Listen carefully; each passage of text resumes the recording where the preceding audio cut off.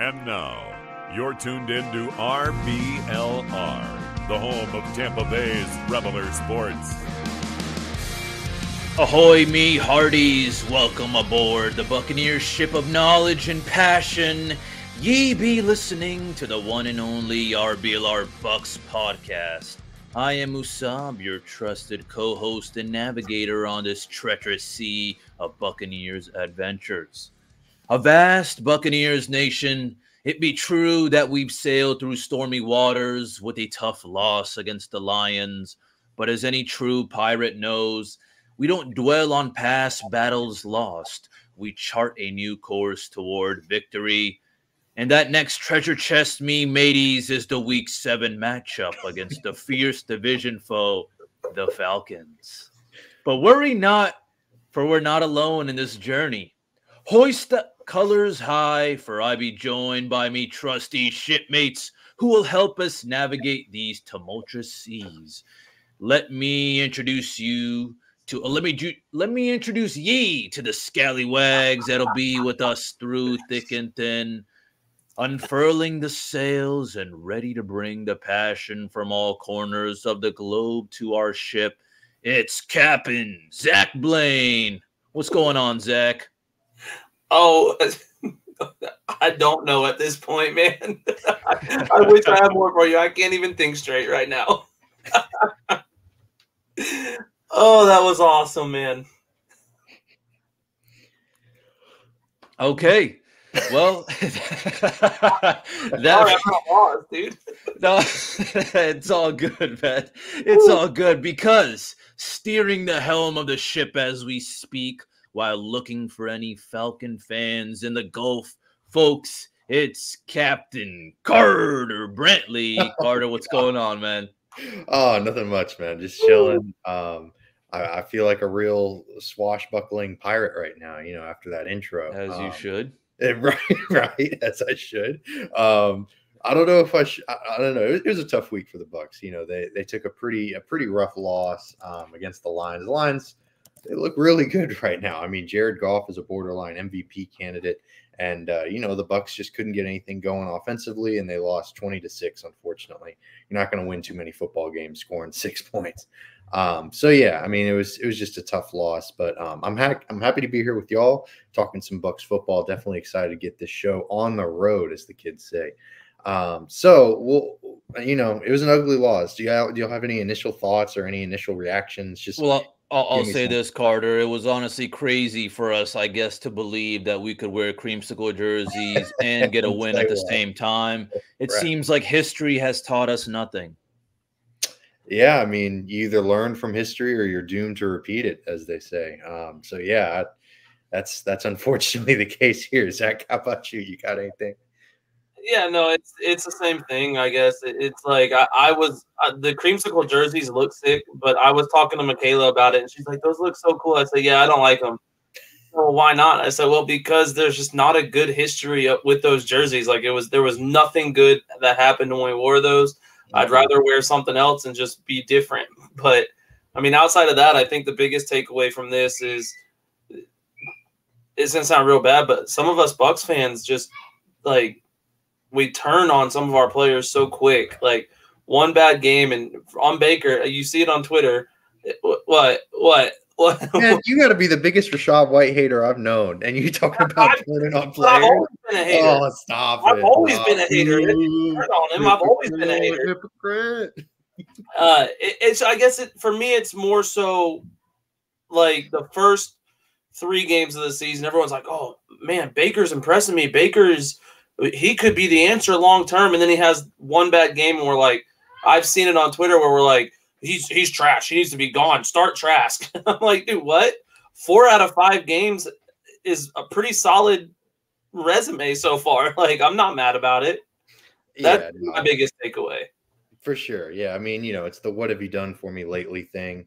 Exactly. Um, like in baseball, like if you listen to Dodgers fans, then Clayton Kershaw is one of the worst pitchers in baseball. You know, so it's it's a very you know people are very quick to turn on a dime, myself included. I'm I'm no I'm guilty of that myself sometimes. Um, I think we all can be.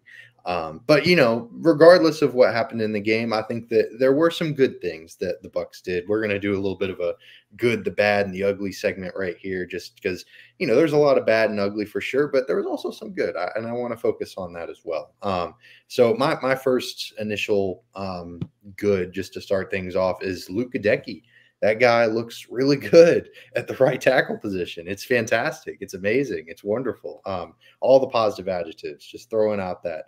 Um, so I was really excited about Luke Goedeke. Yes, Mr. Blaine, you have your hand raised. Didn't I tell you with that position switch, he's a lot better than last year? hey, you did. I, I doubted it, but you did. Um, so that's my good. The Luke Goedeke story has been really, really nice this season. Musab, what about you? What's your what's your good from this past week? I mean, there's only a couple of goods, I guess. Uh, for Right. me, um, yeah, really happy to see what Luke Goedeke was able to do because I had mentioned it, I think, last week as well with the with the matchup between him and Aidan Hutchinson, who is an absolute beast. Only limiting him to like one pressure this game. But for me, uh, honestly, I really like seeing Calijah Kancey on the field. You know, racked up a sack, Yeah. applied some pressure here and there. So I mean, with an ugly game like that, you know, um, I guess that was one of the little hidden gems that I was able to find. Absolutely. That's that's a Musab standard. You got to trademark that phrase right there. Mhm. Uh, hidden gem. Um, Zach, how about you? What's your good from this past week? And you can't say Baker Mayfield. Uh, no, I, I wouldn't say Baker Mayfield. um, no, I think the the good from this past week is uh, it- it's kind of a, a cop out to say it, but just the continued growth of Tristan Wirfs at left tackle. Like he is just slowly showing that he is a freak of nature, and his ability to switch positions and still perform at the top is mind blowing to me. Yeah, it's really, really impressive. Um, and it's nice that the Bucs have these two kind of bookend tackles right now, Goedeke and Wirfs. Um, I think it was a bit a position that was a bit up in the air coming into this season, just because it was a new position for Tristan, and you know Goedeke had been so bad at left guard that there was kind of a doubt as to what he was going to be able to do at right tackle. So it's been really nice. Um, I, I also would be remiss if I did not mention Lavonte David as well for this category because he was really good this past week. He had a couple of really intense pass breakups. Um, he also managed to make some really nice open field tackles. And, you know, he's just continuing to be Lavonte David. And that's really all there is to say. Um, but of course, with the good, there's also the bad. And um, there's a lot of it, but there's also the ugly. So I don't necessarily want y'all to go full bore on on necessarily, you know, cra- crapping on the Bucs. Um, but there was a lot of bad and there was a lot of ugly. So we'll start with the bag. Zach, what, what was your bad from this game? Oh, I hate to say it, but Ryan Neal. Mm, Uh, he was. yeah, he just he's he's been playing pretty solid lately, and just the Lions game is like something clicked for him, and he said, "Nah, I'm good. I don't want to play good anymore." And it, it just showed like that touchdown pass to uh was it James Williams? Yeah. Uh, he just got beat. I mean, Yeah, he, he recovered nicely. He still got there, But, but for you to get beat that bad, I mean, he's my bad for this week. Yeah, and, and in Neal's defense, Williams is really fast. I mean, he's one of the fastest guys in the in the in the NFL. But like you said, to get beat that bad and to just you know, you got to know your personnel, know the guys you're playing against. Williams is a burner, and um, yeah, to see him get beat that bad was rough. Uh, Musab, how about you? What's your bad for this past week?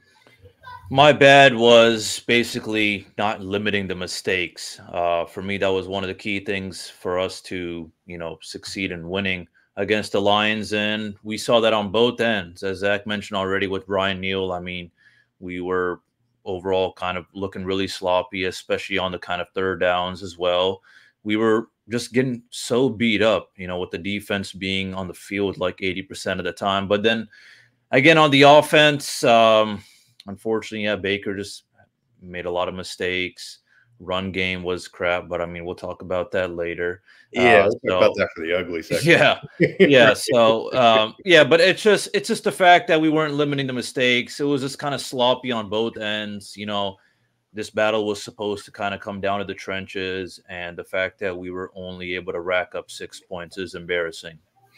Yeah, that's uh, that's a good way of putting it. Embarrassing. Um, I think my bad for the week is going to be the lack of takeaways from the defense. Um, I know that's not they didn't play poorly. They only gave up 20 points, which sounds like a lot, but the Lions offense is really good. And, you know, even if, you're not going to win a lot of games scoring six points. So the defense is not to blame, but they also, you know, they could have pushed the envelope a little bit. Um, you know, the, they just they looked a little out of sorts, uh, to be quite honest, which is to be expected. Like I said, the Lions are a really good offensive team, um, but it was it was kind of discouraging to see them not come up with any turnovers, you know, any game changing plays. Um, so that was that was a little bit of my bad. Um, but now it brings us to the ugly. Um, that there's a lot of ugly. Um, I'm I'm going to be honest. Uh, I I want to hear I want to hear Musab. What's your ugly? Because I know we kind of mentioned it a little bit in the bad, but what's your ugly from this past week? My uglies, first of all, uh, the run game. Just the fact that it's whenever we wanted to do something when it comes to the run game, we were able to do nothing. Rachaad White, Ke'Shawn Vaughn, yep. uh, just yeah, yep, indeed. Because listen, I, I do want to think about okay, hey, listen, offensive line is a factor. I'm sure I've mentioned this before as well, but I'm also not seeing kind of any what's that word ambition from our running backs to do something other than just kind of run it down the middle or just kind of sit there and wait for the hole to open up for them you know? So uh, that's it for me, at least when it comes to the ugly running game. But what was ugly is just the fact that basically, whenever, yeah, as I said already, whenever we wanted to kind of get into the air, we would shift to the run. And then whenever we wanted to pick up a yard or two and extend the drive, we would go for a deep ball. So that was kind of something really a little bit confusing to me as to why the hell we were doing it. But yeah, I'll get off my soapbox as of right now and pass the mic along to Zach. I'm sure he has some words, at least in regards to our run game, for sure. Yeah, I mean it's atrocious. Uh, like I've I've said it on Twitter and I'll say it a million times. This offense will not be able to do anything with the run game that we have now. You cannot pass the ball without the threat of running the ball. And right now, our leading running back is averaging 3.3 yards a carry. That's just that's not going to be that doesn't scare anybody. No one's they, at this point they could rush four guys and play coverage with everyone else, and it, there's nothing to worry about.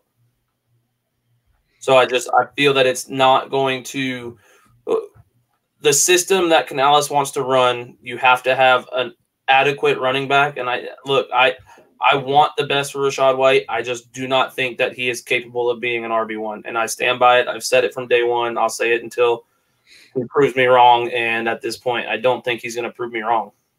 It's embarrassing, yeah, when we have to throw a fade route on a third and one. You know, it's kind of a crazy call because kind of means that we really don't trust our run game. And, and as you mentioned already, Zach, no one respects our run game. So exactly, and that's yeah. that's the problem. And like I said, I know we've had issues with Baker and the overthrows. Like, I'm not saying that Baker played a perfect game or even a good game. I think he played a below average game this week. But when when you're essentially having to throw the ball on three downs to get anything done, they're allowed to play better coverage and take out the overthrows. Like obviously, I'm not saying take out the overthrows and forget that Baker didn't have a great game, but take out the overthrows, and even with that, I don't think we would have won. Without those overthrows, I don't think we would have won this game because they were able to play pass coverage defense all game. Yeah, uh, these are all very fair points. Um, definitely not going to. The running game sucks. Um, it's awful. It's putrid. It's not good. Uh, the worst in football by far. Um, and that's the second consecutive year. Uh, clearly, nothing has changed. And um, you know that that's tough to see, and you're not going to be a very successful football team if this trend continues.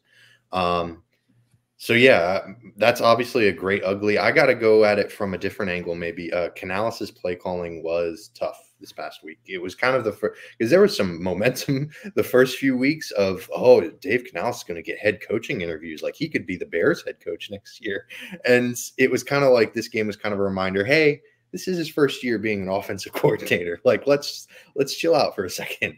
Um, so I thought this was kind of a, a sobering reminder of I don't want to say his inexperience, but maybe you know maybe a little bit of just kind of still getting his feet wet as a play caller.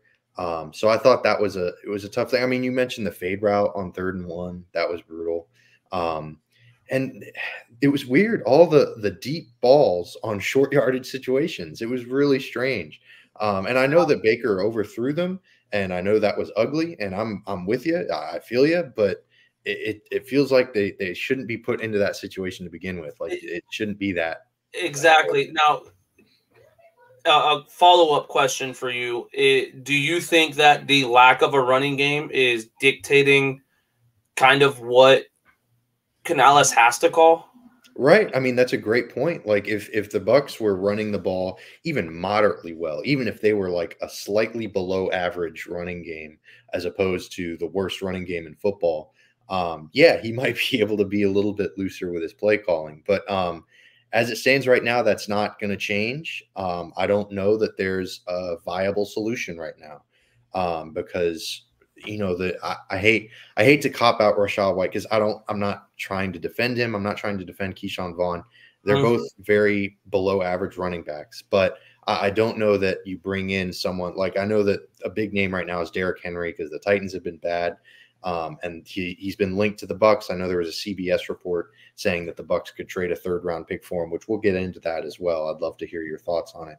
Um, but I don't know that he does that much better, um, just because when you're dealing with Cody Mauch, uh, Robert Hainsey, um, those two guys are are two of the worst at their positions in football. And when the interior of the offensive line is that bad, you're not going to run the ball very well um, regardless of who's back there. So I, I, don't know that Henry is going to be the answer, um, but that's going to be our next topic. So we'll lead right into it. Um, what's the maximum kind of draft pick total? It, I mean, it, it, it, was this is a very recent thing. That's kind of a recent development that I saw, so I wanted to include it in the show. And and I gotta I gotta be honest. I don't think you give up more than a fifth or a fourth round pick for Derrick Henry.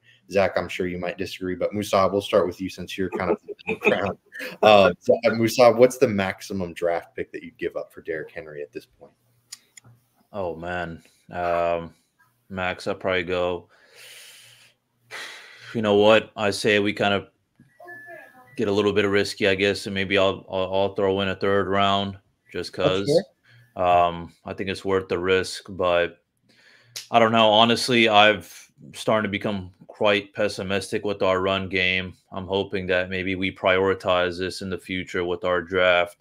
And that's why I'm thinking, fine, let's go third round, maybe fourth round. I think, yeah, for sure.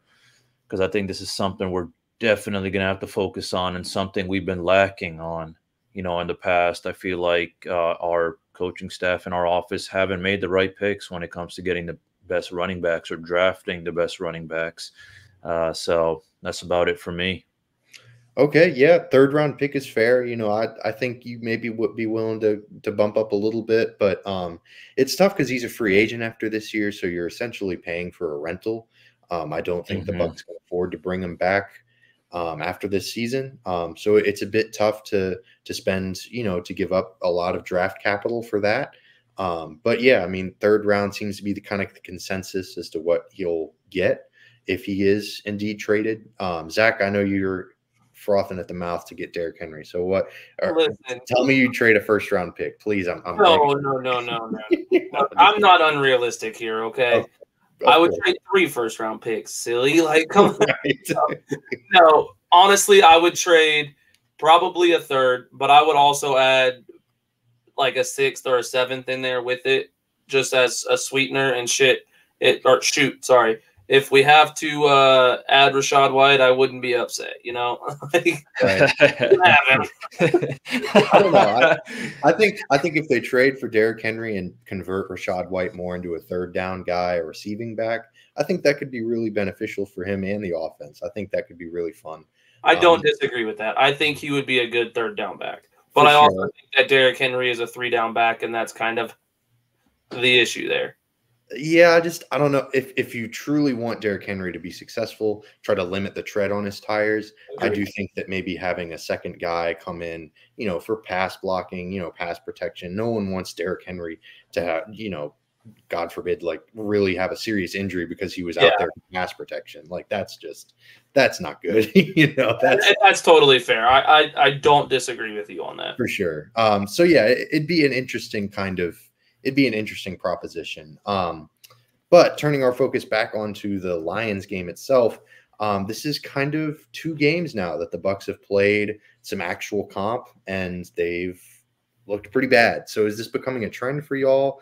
Um, Zach, we'll start with you. Is is this a trend, unfortunately, that the Bucs just can't really play well against good teams? Yeah, I don't know because I really did. Like, I guess I expected them to play better against Buffalo or against uh, Detroit. So, like, I don't want to say it's a trend because the two good teams we've played are two polar opposite teams. I, I think that the the issue is like these are the games that count the most, and the fact that we can't pull up any like upset wins we all felt really good after the Minnesota win. Right, And then it turns out that Minnesota is a trash team this year. right. Even worse expected. Yeah, it doesn't feel good anymore. So the fact that like the Lions, in my opinion, I think I said it last week, was like a make or break game for us. If we can beat the Lions or even have a close game, it would have made me feel more confident. Um, so at this point, I don't know if I'd say it's a trend, but it's it's frightening.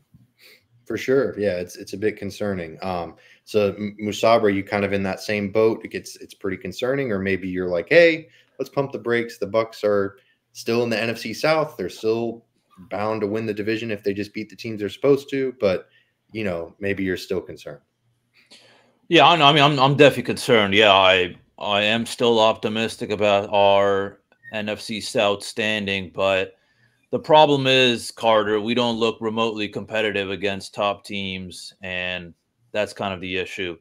Um, well, listen, it, it is what it is, is what I'm thinking when it comes to the Eagles. But yeah, this Lions game was embarrassing for me. It's the lack of momentum that really got to us, and, and it's just I don't know. You know, the best way to describe our team is I remember my cousin told me this because he used to play AAU basketball. He was like, Man, I remember, you know, we used to play these horrible teams. We used to win just by 10 points. We'd have a little snack break, and then boom, now we're playing like De'Aaron Fox and the rest of his AAU team. And now we're losing by like 40 points, and half the guys are like six foot six and taller. You know what I'm saying? So that's how I kind of feel. Our team is just like, hey, we're beating bad teams, but then we're just getting absolutely kind of demolished. And 20 to 6, I know it could have been a lot uglier, I guess, too, but we were overall just getting beat up on both sides. We had a lot of, well, we were lacking a lot of momentum. Okay. And the fact that our defense was on the field for 80% of the time basically uh, affected us big time. And that's probably a big reason as to why our defense did sloppy. They still ended up doing pretty decent. Uh, I want to give a shout out to the people already Lavonte David, Kancey, but still, um, I don't know. I think honestly, we are just we're like textbook mediocre. You know, we're basically that team that say, "Hey, listen, if you can beat us by a decent amount, then you're good. And if you lose to us by a lot, you suck. And if you have a good game with us, you know, maybe you lose by a field goal, then you're just going to be in the middle tier forever, or at least for the rest of the season." Yeah, a, a good way I like to think about it is like the NFC South. It, it's like we're Division Two football. like we are, we are North Dakota State in that division where we go undefeated. We're gonna win that division without a doubt. We're the greatest team in that division. But then we go and play like Alabama or like Oregon State. Like we we play these teams. Listen, they're ranked 12. Don't uh, they're one below Alabama. All right, asshole. but we go out and we play these teams that are in Division One, and we realize, oh, we are not that good. like we were really good playing these D two schools, but now that we're playing these D one schools, we kind of are just trash. I wouldn't say trash, but not good. And it's I I still think we win the division, but I see a first round exit. Like I have no Super Bowl aspirations, let alone a playoff win aspiration. I think we make the playoffs, which is cool, but kind of sucks because that gives us a shitty draft pick. But I do think that it we we get outed first round. Whoever wins the South, I think it's us, but whoever wins the South, I think is out first round. Yeah, I, I'm with y'all. Um, I, I I like the D two comparison because the NFC South is very much looking like a separate division of the NFL. Um, but what is D one is uh, RB Live. yeah, that's some D one stuff right there. That's that's SEC or Oregon State, whatever you're. Not just D one, AP top twenty five. That's right, AP top ten. I would say. That's, Okay. that's making the college football Yes, playoffs indeed. right there. Um, but anyways, yeah, definitely check out shop.rblrsports.com. Um, you know, just we just got the best gear. We got Rays, Bucs, Lightning, Rowdies. If you're looking for some bring back the devil stuff, um, Lightning season's kicking back up. Um, so definitely check that out. Um, and obviously we're in the thick of things with the Bucs season. So um, we'll give you a promo code Cannons, C A N N O N S. Type that bad boy in, and you get 10% off everything on your order. Um, so after that shameless shop plug, we are back to the Bucs related topics. And before we get into it, I do want to ask, you know, I'm feeling pretty hungry right now, so I'm really excited for the this game day snack discussion. Um, but what are y'all's game day snacks for this weekend's game against the Falcons? Um, Musab, we'll start with you because you've always got some heat on deck. So what what are you grubbing on this Sunday when you watch the Bucs Falcons game? Well, I'll tell you this: after that Lions depressing loss, um, I figured as to why you know women tend to just devour a whole what do you call jug Tub of ice cream cream. one day? Yeah, tub of ice. Here you go, tub of ice cream when they break up with their boyfriend, they get dumped or whatever. I had me quite a number of brownies, and uh, listen, whatever happens, whether we demolish the Falcons, we beat them, or we get demolished by the Falcons, you can catch me with a nice batch of Ghirardelli brownies from Costco for keeping the cost low.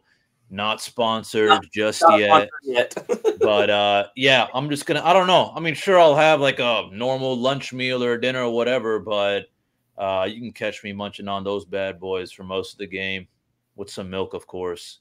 Of course. Yeah.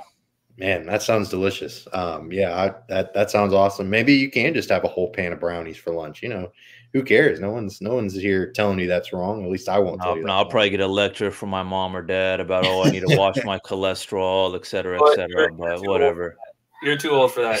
it's a part of being an adult mom. I can eat brownies whenever I want. I gotta tell my kids yeah, that all the time. When I get snacks and they don't, I'm like, look, eh, I spent 18 years of my life not being able to have ice cream for breakfast. If I want it for breakfast, I'm gonna do it. Hell yeah. So, are, are you gonna have are you gonna have ice cream during the Bucs Falcons game, Zach? Or are you feeling Uh, something? No, so ice cream was just a metaphor. I don't even actually like ice cream that much. but but no. I, my my goal is to drive out to this beautiful little town of La Follette, Tennessee. It's like an hour and a half away. Uh, I work out there, so it's not really beautiful. I'm just out there every day. There's this little mom and pop owned bait shop that also has a grill in it.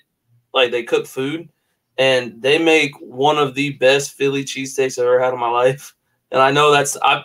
Granted, I've never been to Philly. I've never had a real Philly, so uh, from a Florida boy to a Tennessee boy, like it's the best Philly I've ever had. And I'm gonna try and talk Michaela into going out there because she loves it too. We've been out there a couple of times, and it- it's just this little place called Judy's. They sell bait out of the back and cook in the closet, so it's it's pretty fire though. That sounds like a very uniquely Tennessee experience. So I, Oh, it is. It was the weirdest thing I've ever seen in my life when I first went in. Like you have to get over the fact that there's no gloves or anything, and they're Oh. just cooking. And I, dude, I'm telling you, you go into a place that's not wearing gloves and they're just cooking their hearts out. It's the best food you will ever have. It's Yeah, it's I- usually the places it's usually the places where you don't expect some food to be fire that it, it tends up to be fire. Because I remember I used to work uh, up in Boston at this hospital, and there was this kind of shady looking gas station. But oh man, I remember they used to have the most delicious fried chicken. And I remember the guy couldn't even speak English or something, but he just knew I wanted that fried chicken every time I walked in that bad boy. So, oh yeah, I know what you're talking about. I'm, like, I'm gonna have to stop by Judy's if I'm ever up there. Okay, yeah. Come on, I will gladly take y'all on the trip to Judy's, man. Judy, if you're listening to this, maybe you can uh, give us a sponsor. Judy's Bait and Tackle, La Follette, Tennessee. Come on, uh, we need you as a sponsor. Got to get them on. Uh, yeah, that, that that sounds delicious. I'm not gonna lie. Philly cheesesteak sounds bussin'. Um, I I don't know. I mean, I, I had some etouffee this week. My mom was was gracious enough to make it. And that was delicious. I've already eaten through all that. Um, you know how that is. Uh, and then I had some pulled pork nachos uh, yesterday that were actually really good because my mom made pulled pork, and I put those bad boys over some tortilla chips and some cheese, put it in the oven. Whew, delicious. Um, but this Sunday, I'm probably gonna. I might be in the press box, fortunately, so I'm probably gonna be grubbing on some Cubans, um, some little Cubanitos, some little Cuban sandwiches. I'm pretty hyped for that. Um, but there's also uh, usually like a either some ribs or a, or a steak and chimichurri sauce thing that they got up there. So I'm actually pretty excited about that as well. Uh, that's the best part of the press box is the free food. Um, not gonna lie. Uh, so I'm pretty excited about that. Um, but anyways, after our little you know grubbing session or imaginary grubbing session whatever you want to call it um well we're going to talk about the nfc south because my goodness not only did the bucs lose everyone in the nfc south lost the saints falcons panthers all four teams lost so is this i mean i know we made the division two comparison so i think we can aptly say that they're the worst division in football but i want to confirm it i, I think they're the worst division in football um zach you're saying yes musab is this the worst division in football? Most definitely. Uh, it's embarrassing, or I don't even know what to say. More than embarrassing, it's just odd. We're the oddballs. If you even think about it, you know, there's there's a couple conferences in the you know in the D1 division that are just kind of there. You know what I'm saying? They just Right. exist, but they're never gonna be relevant. You know, they're never gonna be top 25. Like that Sun Belt Conference. I don't even yeah you know what I'm saying? West conference yeah, Yeah, no. Oregon State's about to be in the Mountain West. Don't talk shit yet.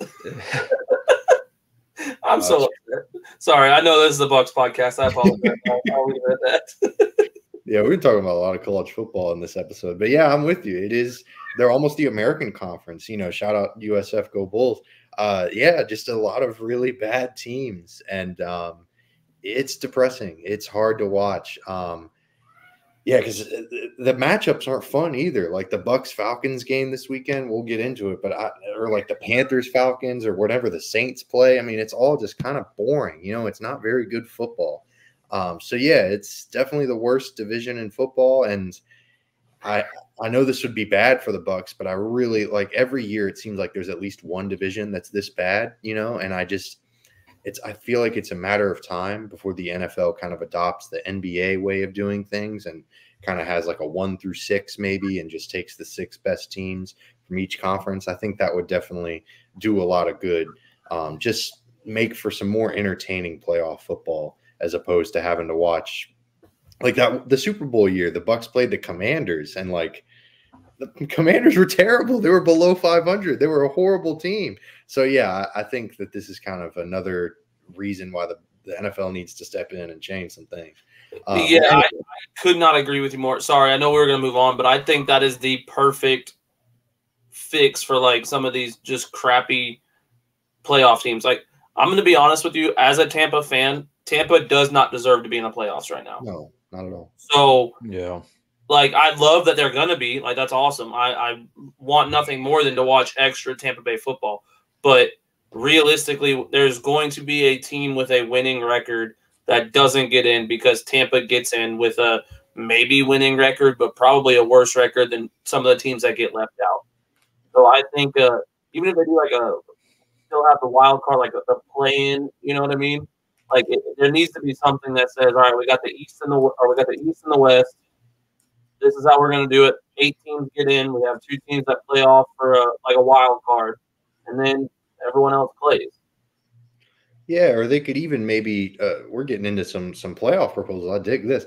Um, we could maybe they could maybe even just maybe they can't entirely abandon the division format, but at least reseed. Because like if the like let's say whoever ends out ends up coming out of the NFC South, they're not only going to make the playoffs, they're going to get a playoff home game. Like that's not cool, you know. They don't Exactly. that. Like it's just kind of tough. Um, so yeah, I'm I'm with you. It's definitely something that needs to be addressed uh, sooner rather than later. Um, but some other news, kind of in the Buck circle. Um, Baker Mayfield experienced that injury on Sunday. Um, it was kind of an uh, kind of a hand injury, upper body injury. He was bleeding apparently. How concerned does this make you going into the Falcons game about Baker's health? Um, Musab, we'll start with you. I mean, are you worried about this Baker injury? Well, I believe it was yeah, it was the non-dominant hand. Right. um, and I don't think he was listed on the injury report. No, he was Um, not. no, so. yeah, as of Thursday, October 19th. So, Right, right. uh, I mean, for me, it's still concerning just because of what's happened in the past, but it's not something I'm thinking about too much, to be honest. Um, what I am worried about is kind of our, our strategy and what is what is Baker going to do for us, and I mean that's that's just for the whole team. So it's not just Baker. I'm worried about a lot of guys on our team. So yeah, I'll leave it at that. That's a fair response. You're, I think we're all a little worried about a lot of guys on this Bucs roster right now. Um, so yeah, that's a fair response. Um, the non-dominant throwing hand, that's a key point. Um, because you know, if if it's the throwing hand, yeah, that's ugly. That's terrible. He probably has to come out of the game on Sunday if it's his throwing hand. Um, but fortunately, since it's not, hopefully he can fight through. Um, it does, you know, he's a very mobile guy. He likes to kind of get in there and get his hands dirty, so to speak, literally and figuratively. So that's a bit concerning for me. You know, maybe he doesn't have those, you know, signature Baker. Uh, they call them the angry runs, the weird angry, uh, weird. Yeah, it's a weird name for him, but um, yeah, Baker has a lot of those, so I think it may reduce some of those. But Zach, how about you? You're the biggest Baker Mayfield fan that I know, so I'm sure you're, you know, praying to to whatever deity there is uh, to, to heal his hand. Um, so does this injury concern you, or maybe you're kind of like Musab and you have a lot of other concerns about the Bucs? I think I'm more on Musab's page. It, it would have bothered me more had they said something about it or something more been brought up about it, but I haven't even read anything about it outside of Right. what you told me. Like, it, to me, if it were a bigger deal, they would have made a bigger deal out of it. It would have been on the headlines and everything. So for me, I'm not worried about it. Especially, I think you touched on it perfectly. The fact that it's his non-throwing hand is or non-throwing arm makes me feel 10 times more confident because the injuries that he's had in the past have been to his throwing shoulder, if I'm not mistaken. Right. So, had it been, you know, coming up gimpy or holding that throwing arm awkward, I would have been more worried. But now I think I'm good. Yeah, I'm with you. I I definitely it's it's like you said, it's it's nice that it's not a, like a reoccurring thing that's been, you know, part of his kind of shtick, so to speak. I hate that. I don't want to say shtick. That sounds bad, but you know, part of his deal is it's a, a Yeah. previous injury that's flaring up. Um, it's not that, so that is very nice to hear. Um, but you know, it's still an injury nonetheless, and it's still something maybe to keep an eye on come Sunday. Um, another thing to keep an eye on, in my opinion, and I want to hear y'all's thoughts on this, is how much you know the Falcons are not in a great place right now. Desmond Ridder looks rough. Um, the offense looks bad. The defense kind of up and down. So, is there any chance that this could maybe be a letdown game? I mean, I know the Bucs have played some pretty bad teams to start the year. Obviously, the Vikings and the Bears. Um, so they've been able to avoid that pitfall. But um, do you think maybe that this has a chance to be a letdown game? Zach, we'll start with you. Uh, if the, if you do think so, how do you avoid it? Um, but maybe you're like, no, it's a division rival. Like they're not. It's not going to be a letdown game. They're going to take this seriously. Uh, yeah, I mean, I think we're going to take it seriously. I don't think there's been a game that we haven't taken seriously, if Of that makes sense. Right. But it, it worries me because it feels like a trap game. Right. Like everyone knows that Tampa should win this game. Hell, I think Vegas has us as two and a half point do- uh, favorites. Yep. Everyone knows Tampa should win this game, but that's why it scares me because with everyone knowing Tampa should win the game, that's bad juju, and Atlanta's going to make it a close game, and it's just it's going to be uncomfortable the entire game until the final whistle blows. Yeah, I think it's definitely going to be kind of a, a white knuckle thing. Um, I don't Yeah. think it's going to be a blowout. Um, Musab, how about you? Do you maybe see it more like, oh, this isn't a trap game at all? It's a division rival. Like, who cares? Or maybe you're kind of with Zach and you're a little concerned about it. Yeah, I'm a little concerned about it. I think we're going to take it seriously for sure. Um, I mean, I think for us to let you know let the fans down and let themselves down is, you know, by not causing disruption on Desmond Ridder, who is very inconsistent and just getting toyed around in the offense. Um, I don't think too much of their defense. I know they're pretty solid, I guess. But I just think that as long as we don't make the same kind of mistakes like we did against the Lions, I think as long as we, you know, are actually playing smart on the offense. You know, we're not exhausting our defense. I think we should be fine. I don't think it's going to be a trap game, but I mean, I'm with you guys. I don't think it's going to be a blowout either. Uh, I think it's going to be a real close one for sure. And um, I don't know. I think it's going to go a little bit back and forth for sure. Yeah, back and forth. Uh, yeah, that's it's definitely. I, I, don't see foresee it being a very uh, a very wide margin that if the Bucs do win, that they win by. Um, so yeah, we'll, we'll, definitely just have to see.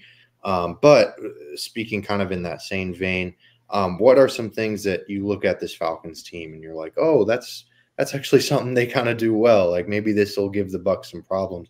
Um, for me, it's definitely on the defensive side of the ball, more specifically their secondary. Um, you know, they've got Jessie Bates, AJ Terrell. Um, those two guys are really, really good. Two of the best at their position. Um, so I'm I'm a little bit concerned that maybe that they give Evans and Godwin some trouble. Uh, maybe they force Mayfield Baker to hold on to the ball a little bit more. Um, so I don't know. That's definitely something I think that the Bucs should be looking out for. Um, Musab, how about you? What, what's something that you look at this Falcons roster and think, oh, this is actually something that could give the Bucs some trouble?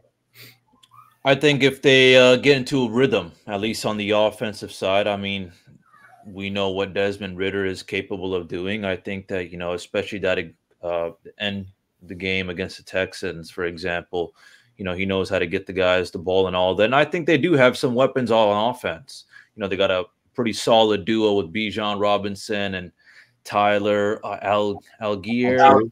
Yeah, Allgeier. Allgeier, yep. And then I mean, what Kyle Pitts, Drake London, even Jonnu Smith, we can toss in there. Uh, so Patterson as well. So I mean, they do have the weapons that could allow them to win for sure, and I think that's something we need to just kind of be wary about. Um, I don't know, just not playing sloppy, of course, as well. Um, hopefully, you know, their offensive line doesn't kind of just completely shut us out. I don't think they will, but anything's possible. And um, I guess that's why it's going to be a good matchup. Yeah, absolutely. I'm excited for this matchup. Um, it's it should be a really fun game, regardless. Of course, I said that last week about the Lions. so what the hell do I know? Um, but uh, Zach, how about you? What are some things that you look at this Falcons team and think, and they, things that kind of give you pause when it comes to this matchup? Uh, yeah, I mean the the main one is Bijan Robinson. I mean, there's they have weapons on offense. Musab had touched on it. You you know, Drake London when he's goes off, he goes off like he's one of the best in the league when he goes off. That's the problem is he doesn't go off very often. Um, Bijan Robinson is averaging five yards a carry. Uh, that almost doubles Rachaad White. Just got to throw that in there. Um, but anyway, he, he's averaging five yards a carry, and the fact that they have another running back who is also averaging over four yards a carry, or I think he's at three eight. Sorry, um, that running back duo is is going to be potent and it's going to be scary. Uh, and I just I'm I'm worried about that and Kyle Pitts being covered by Devin White because his his pass coverage is not great. Yeah, and Kyle Pitts, if used properly, which the Falcons haven't really been able to do so far in his career, yeah. Um, he can be a really dynamic weapon. And um, he finally scored a touchdown this season. Uh, I have him on one of my fantasy teams, unfortunately. So he got off that schneid or got whatever you want to call it. Um, so yeah, I'm with y'all. The the the weapons they've spent three first round picks in consecutive years on skill position players. So they better damn well have some good weapons. Um, otherwise, they have to really reevaluate what they do. Um, so, yeah, I think those are some really interesting points. Um, definitely going to be a really good game. Um, but, Zach, to throw it back to you, uh, you have an over under stat or two for us, right? Yep. All right.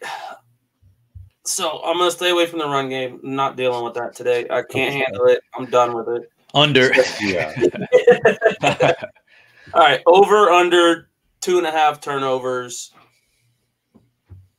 this week. Total from both teams? No, no, oh no. On just Tampa getting two or two and a half takeover or takeaways. Okay, from the Falcons. Okay. From the Falcons, yeah, yeah. All right. Um, I'm going to go under. I, I, don't think that they can force over two and a half. I think they might get an interception or two from Ridder, um, but I d- it would be hard to get over two and a half. So I'm going to go under on that. Yeah, my hot take is I'm, I'm I think it's just going to be two max. I think things are going to change a little bit towards the end of the game, and I don't think we're going to be applying too much pressure for which that reason. I think it's just going to be two no, two turnovers at max. Could be less too. Okay. All right, Zach, how about you? I say I'm I'm a little different than you guys. I'm gonna go over. I have I have two interceptions and a Drake London fumble. Oh, a Drake London fumble. Yeah. Wow. Calling him out like that. Okay. Good Well, gracious. no, no, I'm not calling him out. I think he's he's gonna have a good game. I really do against Tampa, but I I think that they get him the ball too much, and it's just one of those. As he's falling to the ground, someone punches it out, and we get the ball. I, I don't know why I have that feeling. That's just a feeling. If it happens, I'm I'm gonna start betting whole paychecks on stuff. I think it's I think it's because there was a Drake album that came out this past week, so maybe there we that's go. And I Yeah. just, y'all know how much I love Drake. for sure. You're a huge Aubrey fan, I know.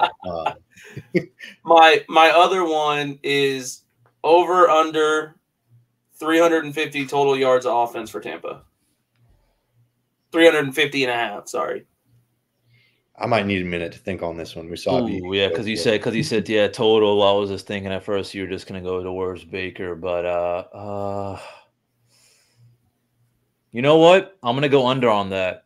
I think uh, for me, my prediction is I think we're gonna fire on all cylinders in the beginning, maybe a little bit towards uh, the third quarters, but I don't know. For some reason, guys, I just think that our fourth quarter is not gonna be as pleasant or as satisfying as we'd expect. That's why I'm thinking under.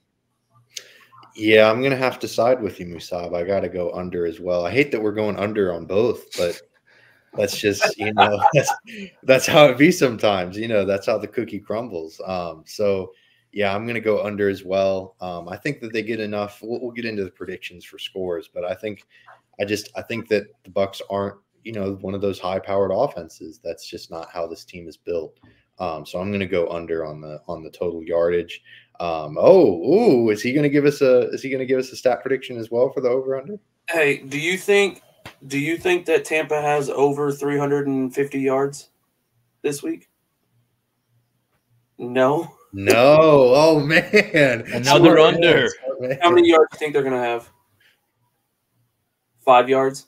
Oh, Five right. yards. Yikes! Oh, he doesn't man. watch very much football, boys. That's okay. That's probably a good thing. so Zach, what's your over under? I'm I'm also gonna go under on that one. I'm being honest. I think it's going to be closer to 280. Between 280 and 300 is my my prediction. So I'm, I'm going under. I, I think we do enough. Like I said, we'll get into the predictions later, but I think we do enough to win. But it's not going to be. It's not going to be a huge blowout win. All right, I'll I'll throw it right back at you. What's your prediction for the game then? My prediction is 17 to 10. Tampa wins. Okay, fair enough. Short and to the point. I dig it. Musab, how about you? What's your uh, what's your score prediction? I'm going 24-20. Uh, I think it's uh, somewhat high scoring. I think at least we lead by a lot, but Falcons catch up, but they don't catch up enough, leading us to a win. 24-20 Bucs win. All right, 24-20. I'm gonna go. Oh, I'm gonna go 17-13. Uh, and I'm gonna go Falcons. I, I think Oh, Oh, oh my I know, God! I know. I, I hope I eat my words. I would love to eat my words because I hate the Falcons. I don't want to see them win, but I don't know. The the, the Lions game was just rough, and um, the offense looked really bad. And I think the Falcons defensively are pretty good, and I think that they're going to do just enough to kind of push them over the top. Um, I think they get a few takeaways uh, themselves, so that's kind of my prediction: is the Falcons go on top uh, 17 to 13. But again, I hope I'm wrong, and I could very well be wrong. I'm wrong way more often than I'm right, which is amazing. Um, Taylor, are the Bucs going to win this week? yeah, let's hear his. How much are they going to win by? Do you think 10 points? Ooh, 10 points. Okay. I dig that. I dig that. All right. Well, there you go. Um, yeah, there we go. I dig it. Uh, so now we've got all of our predictions in, even from the Blaine boys as well. Um, we appreciate y'all for coming on, um, but we also appreciate our audience for listening, tuning in, uh, putting up with our shenanigans, our nonsense, and all that good stuff. Um, so we really appreciate y'all tuning in. If you liked what you heard, and if you want to see more of the Blaine boys, definitely hit the like and subscribe button. Um, give us a follow at RBLR Sports on Facebook, Instagram, Twitter, or TikTok. Um, you can see more of Zach Blaine on TikTok. He's always cooking some stuff up, some Bucs related content on there. Um, so we really appreciate it and uh, hope y'all tune in next week. Hopefully, it's with a Bucs victory and not another Bucs loss. Uh, but as always, regardless, go Bucs. Go Bucs. Go Bucs.